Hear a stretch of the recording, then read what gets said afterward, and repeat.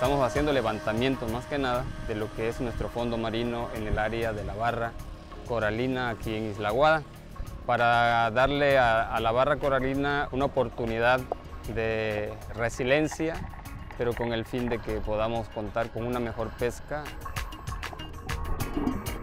La idea de nuestro proyecto como pesca sustentable es que podamos hacer que se declare nuestro lugar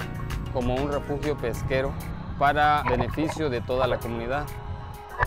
Si nosotros cuidamos esa barra,